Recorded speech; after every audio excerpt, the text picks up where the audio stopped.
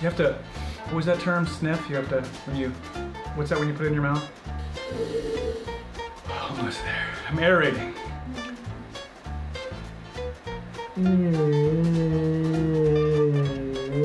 So, this is really good, you guys. Always gurgle a good wine.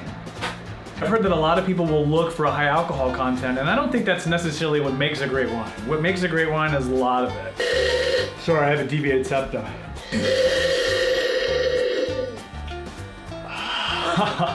Man, when you're dancing with red wine, you gotta make sure to keep one part of your body completely still, which is difficult. Mm. Have a little more in there. It's looking kind of. This wine is amazing.